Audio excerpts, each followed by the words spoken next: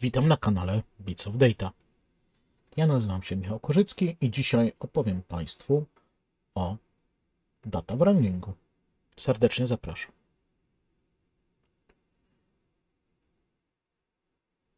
Ten film wprowadza cykl pięciu filmów poświęconych data wranglingowi. Ten rozmiar tego materiału wiąże się z tym, że to jest prawdopodobnie chyba ta część pracy jakiejkolwiek osoby pracującej z danymi, które zajmuje najwięcej czasu, jest często niedoceniana. Dane, które otrzymujemy, można powiedzieć, surowe, z zewnętrznych systemów, nieobrobione, zawierają całą masę różnego rodzaju problemów, które należy usuwać, po to, żeby te dane wyczyścić, żeby przygotować je do dalszego przetwarzania. I tym jest właśnie coś, co jest określone jako data wrangling, czasami określone jako data munging, jest jeszcze operacja wczytywania i ewentualnie data tidying, czyszczenie danych. Tu w ogóle wchodzi w grę w ogóle pojęcie, czym są czyste dane. Jest to formalne pojęcie, o którym też sobie porozmawiamy. Głównym narzędziem, które będę używał do tego data wranglingu jest biblioteka Pandas. Jedna z moich ulubionych bibliotek w Pythonie, idealna do przetwarzania danych tabularycznych. Dzisiaj będzie wstęp do tej biblioteki. Opowiem takie elementy jak wybór wierszy z danych tabularycznych, iteracja, deduplikacja, no i jakiś konkretny przykład. Przechodzimy do tematu dzisiejszego spotkania. Jeżeli miałbym na jednym obrazku streścić, czym jest data wrangling, to ze strony Stat System idealny mem, który pokazuje, jak rzeczywistość wygląda. Często dane, które znajdujemy na różnego rodzaju szkoleniach, na różnego rodzaju przykładach są miłe, łatwe i przyjemne, czyste. Tak ten kawałek asfaltu, który zajmuje zaledwie parę metrów. W rzeczywistości dane są pełne wybojów, dziur i wykrotów, które trzeba umieć wyminąć, więc dzisiejszy filmik poświęcony jest dokładnie temu, prawdziwym danym, które trzeba nauczyć się czyścić. Jeżeli mówimy o samym data wranglingu, no to on na pewno składa się z kilku ważnych elementów. Trzy najważniejsze to będzie discovering, czyli eksploracja danych. Najpierw sprawdzenie, co w tych tabelkach w ogóle leży, żeby można było się nimi zająć. Structuring, czyli przygotowanie danych, nadawanie odpowiedniej struktury do dalszego przetwarzania. Czyszczenie następnie danych, tak? to jest unifikacja formatów, najczęstszym przykładem jest to, że no, data może być w kilku różnych formatach i na pewno jak przyjdzie kolejny plik z uzupełnionymi danymi, będzie miał dane w, w daty w innym formacie niż miał przed chwilą, a jeszcze najlepsze będzie miał datę w kilku formatach. Czy do z liczb dziesiętnych używałem przecinka w postaci przecinka, czy kropki, a może jeszcze się pojawi separator tysięcy, jak jest w notacji amerykańskiej zawierający przecinki. No, tutaj jest olbrzymia ilość rzeczy, które mogą pójść nie tak. Jeżeli tylko coś może pójść nie tak, doskonale wiemy, że pójdzie nie tak. Mówimy też o deduplikacji danych, eliminowanie błędnych danych, no, czyszczenie danych. Czasami ten data wrangling dodatkowo, jak już zostanie na to czas i możliwości, bo wzbogaca się przez dodatkowe dane, przez łączenie ze zbiorami, walidacja, sprawdzenie poprawności w kontekście danej dziedziny. Przykładowo, jeżeli mam tabelkę zawierającą transakcje i nagle nam się pojawiają kwoty ujemne czy to jest błąd, który należy usunąć? Czy ktoś błędnie wprowadził minusa? A może kwoty ujemne odpowiadają zwrotom? To nie da się tego zdecydować w czysto mechaniczny, techniczny sposób. Tu należy rozumieć dziedzinę, co oznacza tak naprawdę dane zjawisko w danych, żeby wiedzieć, jak z tym dalej postąpić. No i wreszcie ostatni etap, o którym często się nie mówi, jak opublikować te dane, w jaki sposób je udostępnić. Ciekawy artykuł, link jest zamieszczony tutaj na stronie. Polecam sobie do niego zajrzeć.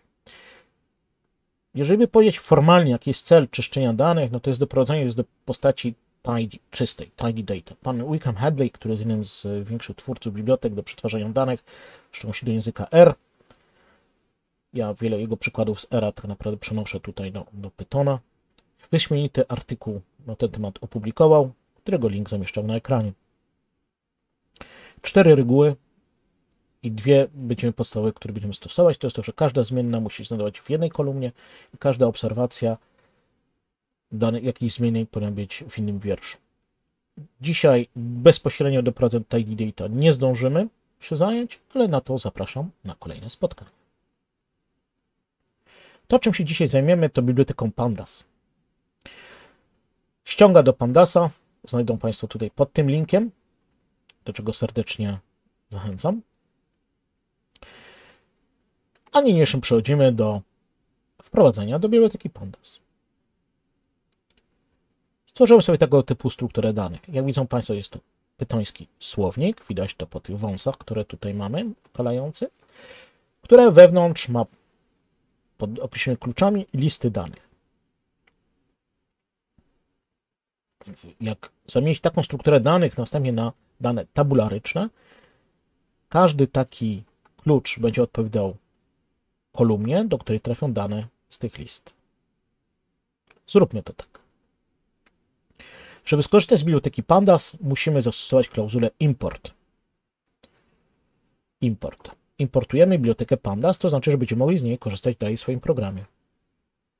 Ponieważ będziemy się bardzo często odwoływać do biblioteki Pandas, możemy sobie skonstruować do niej alias, skrót, po to, żeby nie wpisać za każdym razem Pandas aż 6 znaków, tylko zaledwie 2.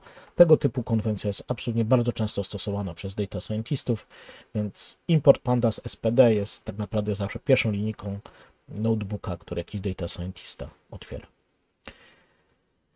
Stworzymy sobie ramkę danych, którą nazwę football. Pod zmienną football tą ramkę podstawię i ta ramka zostanie utworzona przez wywołanie data frame z pandasa. Przypominam, PD jest teraz aliasem do pandasa na danych, które zdefiniowałem powyżej. I wypiszmy sobie taką ramkę. Tak obiecywałem, każdy klucz stał się kolumną, a zawartość, wartość pod tą kluczą, ta lista, stała się wartościami w poszczególnych kolumnach. I uzyskaliśmy dane takie tabularyczne. To kiedy wyprintowałem tą zawartość.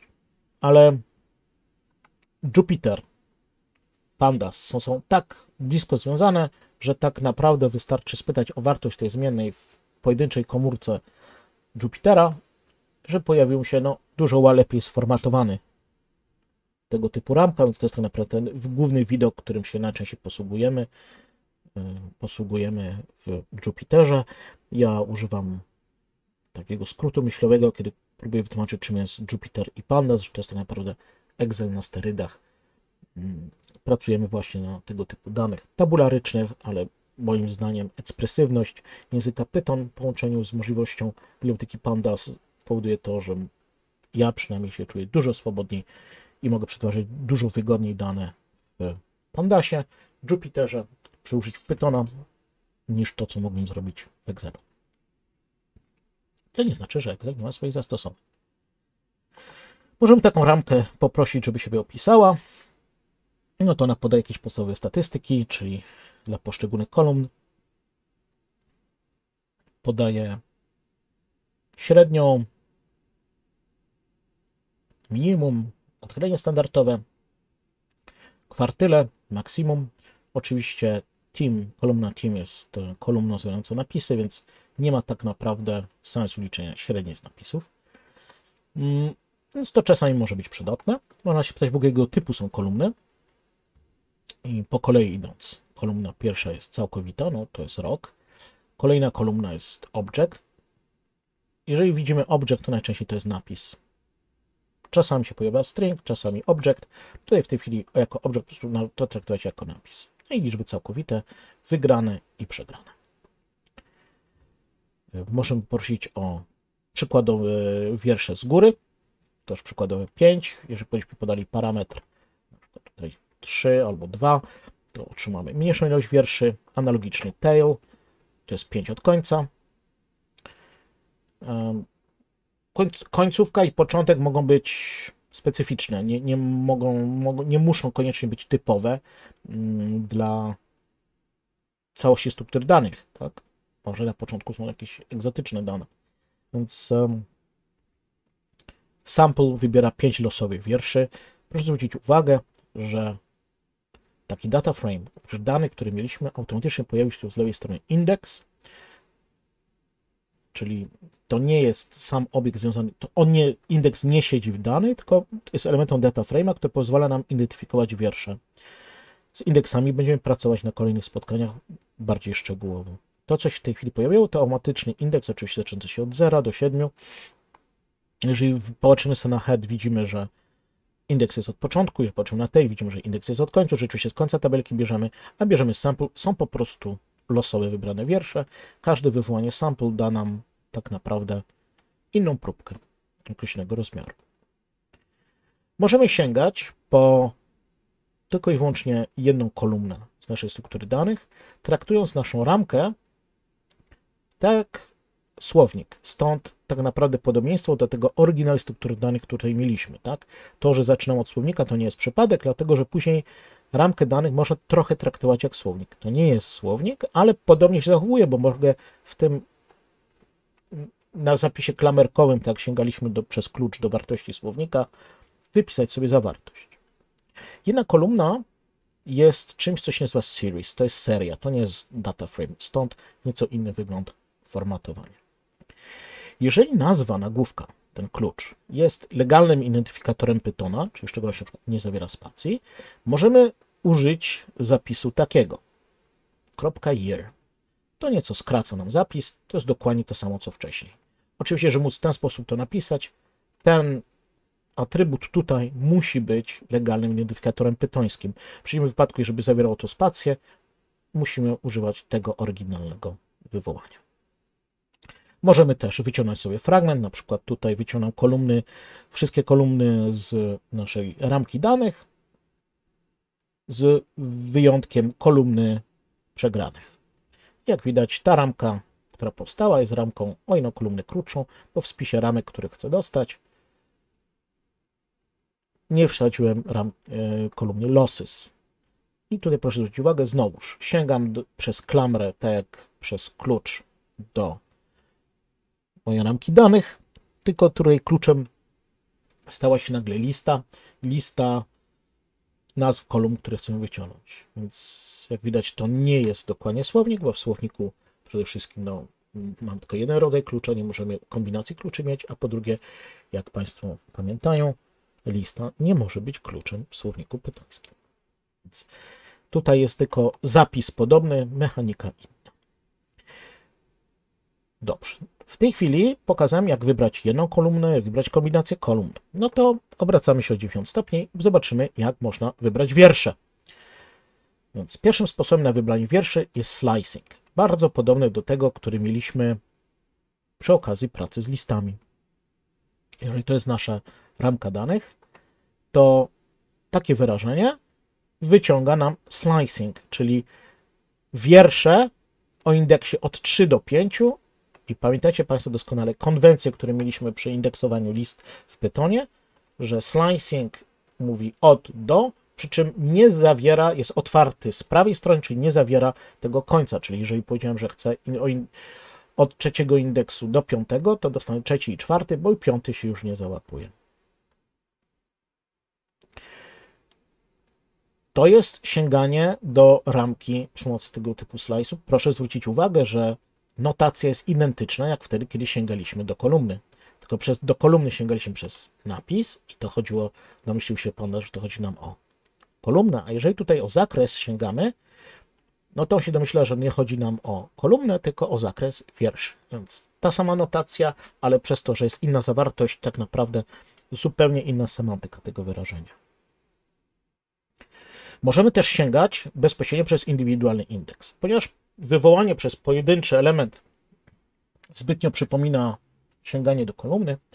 Tutaj już nie możemy robić tego przez prosty zapis związany z nawiasem kwadratowym bezpośrednio na ramce danych. Tutaj musimy tą ramkę, ten nawias kwadratowy sięgnąć do elementu ilog.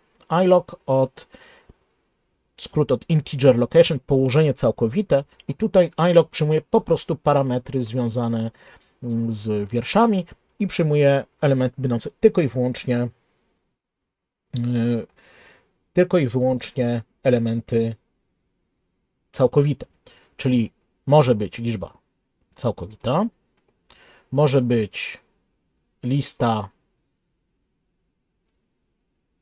bądź no, wszelki jakikolwiek tablica, czyli tuple zawierające integery. Tutaj mam listę dwóch integerów do liczb całkowitych. Slice, tak jak mieliśmy wcześniej. Także lista zawierająca buliny, prawda, fałsz. To nawet funkcje. Przykład wyciągam z tej element 0 i 3, bo takie indeksy były na liście. To jest sięganie przez indeksy całkowite. I lock. Mamy alternatywę będący sam lock, którym możemy sięgać, tym razem podając mu konkretne e, opisy, label. Indeks nie musi być liczbą całkowitą, tak tutaj mieliśmy od 0 do 7, może być na przykład datą, może być napisem. I wtedy korzystamy z locka. Wygeneruję sobie tego typu ramkę danych, losowe trzy kolumny, e, które są zaindeksowane kolejnymi datami. Żeby sięgnąć do wiersza opowiadające tej dacie, muszę użyć loka. Dlaczego? No bo ta data nie jest liczbą całkowitą, więc nie mogę iLoka użyć, muszę loka użyć. I uzyskuję trzy wiersze, a trzy z wiersza z 3 stycznia, czyli tego, uzyskuję wartości kolumn ABC. Mogę poprosić o pewien zestaw dat. I tutaj mam już wycinek trzech dni, 3, 6 i 7 stycznia. Mogę wreszcie poprosić o slice, zakres. I tu jest, co jest ciekawe, jedyne miejsce, w którym spotkałem się, że tu akurat wyjątkowo prawa strona zakresu jest zawarta, więc to jest jedyne miejsce, które znam, gdzie odbiega te, tej konwencji, że prawy zakres slice'a nie jest objęty. Tutaj akurat w loku jest. I to trzeba pamiętać. Przestrzegam przed tym, że jak się zakres obiektów poda, prawy obiekt także jest tutaj zawarty.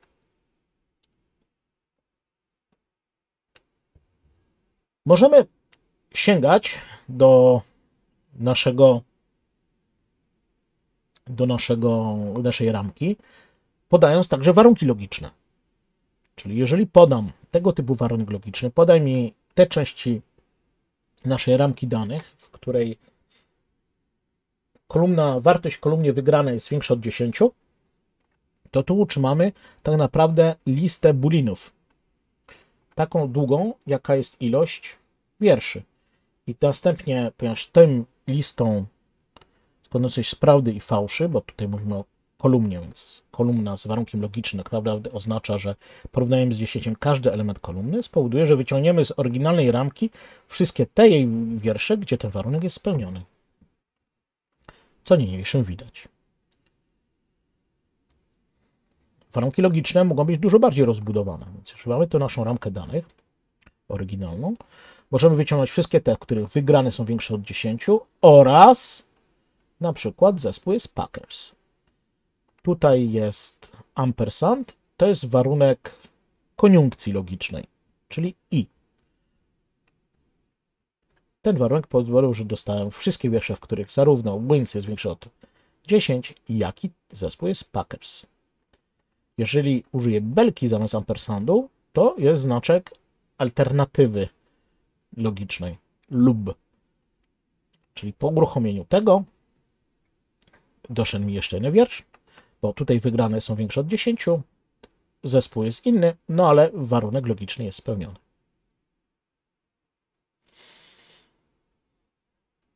To pozwala nam sięgać do danych, już wiemy jak sięgać do kolumn, wiemy jak sięgać do wierszy.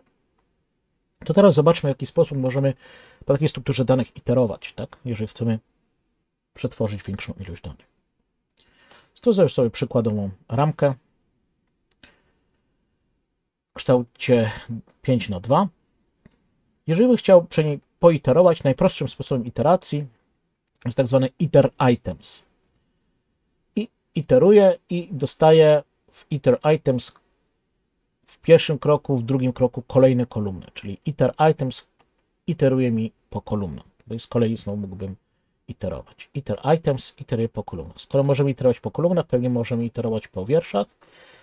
I dokładnie to się stało. To są wiersze. Jak widać, każdy wiersz jest tuplem, do którego można sięgnąć. Jeżeli chcemy rozłożyć tego tupla, no to po prostu rozkładamy go jak tupla.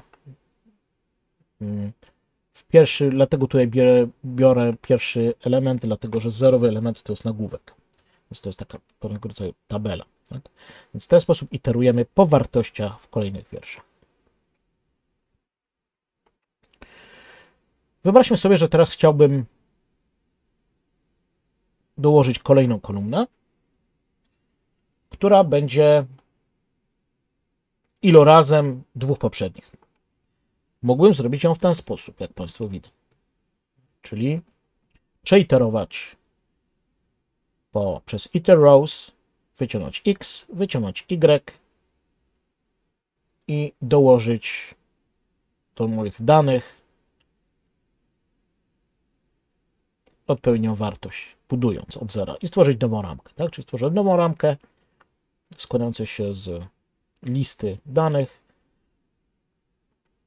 i mam to ratio. Tak? Czyli stworzyłem nową ramkę, która zawiera iloraz x y w ten sposób, tworząc w locie danych. To jest wycięty fragment z dokumentacji Pandasa, gdzie jest duży warning i oni mówią, że robienie tego jest wolne. I jak tylko się da, zróbcie coś innego. Przyjrzymy te coś innego, które oni proponują. Lepszym nieco rozwiązaniem jest zastosowanie list comprehension. Wcześniej Państwo widzieli, tworzyłem listy i na tej podstawie stworzyłem dane. No cóż, dokładnie to samo można uzyskać mocy list comprehension. Dużo bardziej zwarty zapis, może lepszy. Niepronie lepszym sposobem jest stworzenie funkcji, która nam wygeneruje tą wartość. Tworzę funkcję ratio, która po to, żeby nieco jaśniej było, wypisze, jaki parametr dostaje i zwróci, zwróci nam iloraz. Teraz taką funkcję, która dostaje wiersz jako wejście, przez co mogę się odwołać przez kolumny x i y, tak by to były pola, mogę podstawić pod nowo utworzoną kolumnę. Nową utworzoną kolumnę.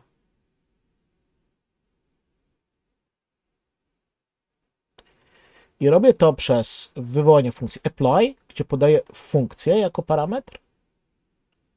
I to, czy ona ma iść po osi pionowej, czy poziomej. Tutaj mam iterować po wierszach. Jeżeli tutaj po wierszach, oś jest 1. Widać, mam wywołanie kolejnych, kolejnych elementów. Dostaję 02468, to czyli x, i dołożyłem ratio w ten sposób. Więc apply jest nieprawdopodobnie lepszym sposobem niż ręczne tworzenie tych danych i dużo bardziej zwartym przede wszystkim, tak, i czytelniejszym niż na pewno list comprehension. Najlepszym sposobem jednak jest wektoryzacja. Skorzystanie z tego, że można operacje wykonywać wektorowe i Pandas rozumie, co to znaczy wykonać operacje na kolumnach, przerzuca to na wierszach, na kolumnach, po prostu rozumie to, że tu chodzi o to, że chcemy dostosować po elementach tą operację. Czyli jeżeli napiszę, że w tej mojej ramce tworzę nową kolumnę total, która jest równa kolumnie x podzielonej przez kolumnę y, to znaczy, że w każdym wierszu x z tego wiersza zostanie podzielony przez y z tego wiersza i uzyskamy z tego odpowiedni total. Także to jest nieporównanie lepsza operacja niż wszystkie inne. Oczywiście nie wszystkie da się w ten sposób zapisać. Czasami po prostu jest to na tyle złożona operacja, że wygodnie jest napisać funkcję i zastosować apply. Ale zdecydowanie najlepsza jest wektoryzacja, w następnej kolejności stosowanie apply i stworzenie funkcji do wykonania złożonej operacji. Lepsza przede wszystkim na pewno czytelność jest nieporównanie większa niż wszystkie poprzednie, a także lepsza ze względu na chociażby wydajność. Stworzę sobie nieco większą ramkę, co ma 10 tysięcy elementów. 10 tysięcy wierszy. I teraz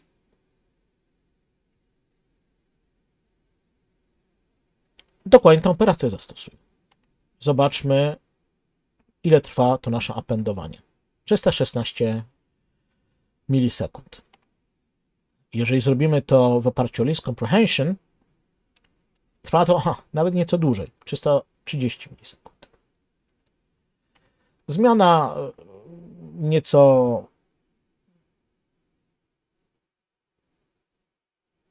na jeszcze prostsze list comprehension też niczego nie poprawia, tak naprawdę. Jeżeli za to zastosujemy apply, zobaczymy, że ścięliśmy czas o połowę. Więc apply działa dwa razy szybciej niż te wszystkie poprzednie metody. Trwa 174 milisekundy. A jeżeli zastosuję operację wektorową, czas został mi podany jako 996 mikrosekund, czyli mniej niż 1 milisekunda. Czyli przyspieszyłem no, 100, 174 milisekund zrobiło mi się poniżej 1 milisekundy, więc tutaj to chyba nie wymaga komentarzy. Gdzie się tylko da, zatem stosujemy operacje wektorowe.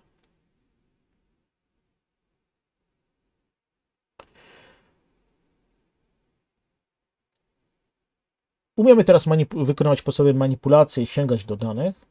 No to teraz już przechodzimy do rzeczy związanych z czyszczeniem danych, z deduplikacją. Stwórzmy sobie ramkę danych. W tych danych mamy, no, trochę duplikacji jest, tak? Więc możemy Pandasa od razu poprosić o usuwanie duplikatów. No i teraz możemy podpowiedzieć różne strategie. Czyli tak, chcę usunąć duplikaty z kolumny A i C, przy czym chcemy utrzymać pierwszy. Duplikatem, jeżeli patrzymy na kolumny A i B, jest wiersz pierwszy i drugi, bo mamy fu i a, fu i a się powtarzając. To jest duplikat. Można powiedzieć, że to jest jakiś rekord z imienia, nazwisko. Tak? Na przykład mamy dla danej osoby kilka rekordów, które chcemy zostawić. No, keep first to jest oczywiście chyba zrozumiałe. Zostawiamy pierwszy, czyli zostawił nam ten pierwszy. Gdybyśmy dali strategię keep last, no zostawi nam ostatni, czyli drugi. Gdyby było ich więcej, no to oczywiście pierwszy i ostatni tutaj też będzie miało zastosowanie. Możemy wreszcie nie chcieć rozwiązywać problemu duplikatu. Jeżeli jest duplikat, to jest problem. Jeżeli jest duplikat, to jest po prostu problem. Możemy chcieć go po prostu usunąć. Więc jeżeli tylko pojawią się dane zduplikowane, zamiast rozstrzygać konflikty, usuwamy. Stwierdzam, że to są po prostu zaburzone dane, które nie powinny wystąpić. Po usunięciu jednak wierszy pozostaje problem. No, wyrzuciliśmy wiersze, zrobiła nam się dziura, czyli indeks jest 2 i 3. No, chcielibyśmy zawsze mieć indeksowanie od zera, to jest dużo wygodniejszy sposób sięgania do wierszy.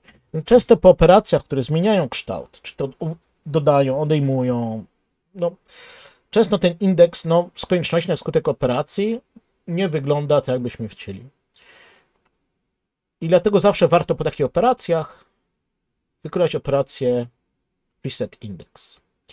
Zwracam też uwagę na to, w jaki sposób w Pandasie łączone są sobą operacje. Mm, te ramki się nam wyświetlają, dlatego że rezultatem zwracanym z każdej operacji manipulacji ramką jest ramka. I na tej ramce możemy użyć ponownie jakiegoś mechanizmu. Jakiegoś kolejnego drop duplicate, jakiegoś ilocka. I jeżeli na końcu zakończymy przez reset index, końcowa ramka, która nam przejdzie przez wszystko, cały ciąg przetwarzeń, przetworzeń tutaj, będzie miała indeks zresetowany. I to będzie jak widać tutaj indeks został mi zresetowany z tej ramki wcześniejszej do 0 i 1. Przejdę do przykładu. Przykład wzięty ode mnie z życia. Śledziłem sobie ciśnienie własnej krwi. Tak? Zapisywałem sobie poranne ciśnienie i wieczorne ciśnienie, i tego, co mi ciśnienie już podawało, no, wpisywałem sobie do, do arkusza, żeby sprawdzić, czy jestem w stanie tym jakimś jakoś trybem życia czy innymi rzeczami manipulować. Rano, jak widać, ciśnienie w miarę, w miarę mm, znośne, no o wieczorem mi zaczęło już skakać wyżej. Coś postanowiłem z tym zrobić. To jest typowa struktura danych, którą mamy, czyli mm, no, wpisywałem te dane, ale jak widzicie, nie zawsze robiłem to sumiennie, więc są dni, kiedy brakuje wpisów porannych, są dni, kiedy brakuje wpisów wieczornych, są dni, gdzie w ogóle obydwu wpisów brakuje. No i coś trzeba z tym zrobić, tak? Um, no. Najpierw możemy zobaczyć, jakie są kolumny. Um, więc tak, mamy kolumnę wcześniej, bo już to wciągnąłem sobie z Excela, która nie dostała nazwy. Więc to już jest pierwsza brzydka rzecz, którą trzeba zrobić. Więc może byśmy wzięli i, i, i zmienili nazwę tej kolumny, tak? No więc stworzyłem sobie zmianę columns, która jest po prostu wylistowaną kolumnami tej ramki. Uzyskujemy ją przez pole columns. Zmodyfikowałem i wsadziłem z powrotem. I teraz mam nadzieję, no przynajmniej pierwsza kolumna ma nagłówek date. Jeżeli zobaczymy sobie teraz, jakie są typy, to no, typ jest zmienno-przecinkowy, tam gdzie jest ciśnienie, ale tutaj pierwszy ten z datą to jest object, czyli napis, czyli on tego tak naprawdę, co tutaj jest, nie traktuje jak daty. On traktuje to jako napis. Nie będzie to chyba zbyt e, wygodne dalej, więc inną sposobem rzeczy to posprzątanie typów.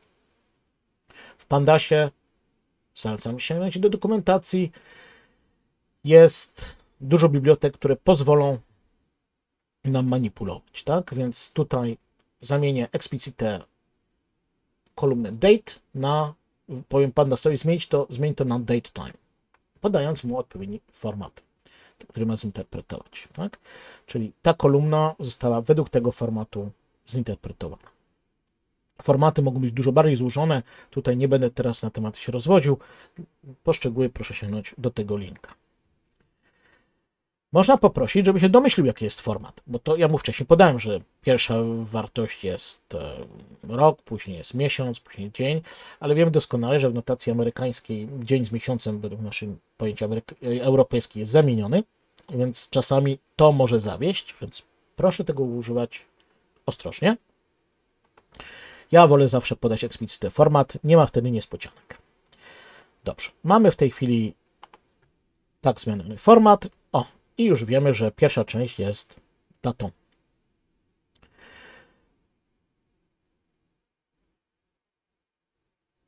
Ciśnienie sobie też mógłbym spróbować zamienić na liczby całkowite.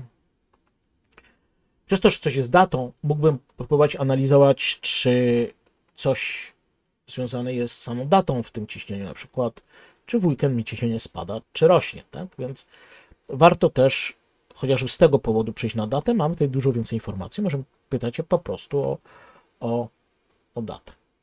Jeżeli zamienimy sobie teraz te dane będące weekday, możemy sobie zmienić znowu na kolejny typ, typ kategoryczny.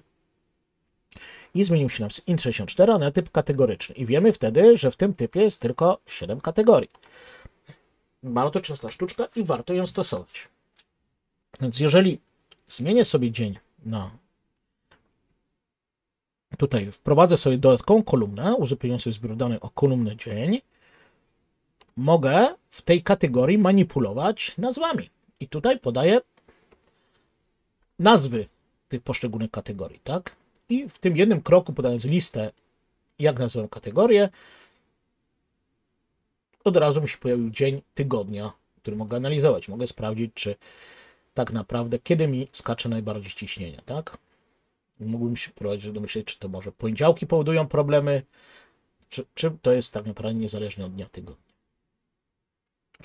E, tutaj, jak widać w tym ramce danych mam no, indeks, tak zawsze miałem, od 0 do 20, 21 wpisów i mam datę. To jest trochę nadmiarowe. Wystarczy, że chyba data będzie samym indeksem. No i teraz rzeczywiście widać, usunąłem indeks cyfrowy i powiedziałem, że kolumna data ma się stać indeksem. W tej chwili moja ramka danych indeksowana jest datą. Nadal problemem pozostaje to, że w mojej strukturze danych no, jest trochę pustych miejsc. Puste miejsce poznajemy przez tak zwane NaN, skrót od not a number, no, pusty. I dobrze byłoby się jakoś ich pozbyć. Jest kilka różnych strategii. No, wpisywanie zera nie ma sensu, bo to by oznaczało, że prawdopodobnie tego dnia już nie żyłem, skoro ciśnienie było zero, a to do wszelkiej analizy wykresów to by był chyba nie najlepszy pomysł. Więc można spróbować zrobić forward fill, czyli jeżeli napotkany jest jakaś pusta dana, no to jest uzupełniona do przodu.